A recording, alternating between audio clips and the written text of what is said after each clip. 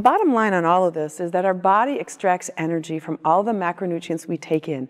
So we ingest foodstuffs, we ingest different types of um, foods and all types of uh, other sorts of things.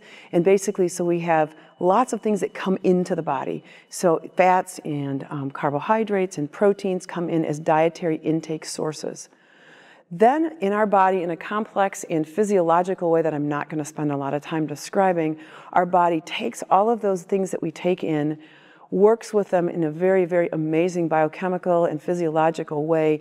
And what comes out or what's the, what's the impact or what the products are, are proteins, glycogen, and lipids.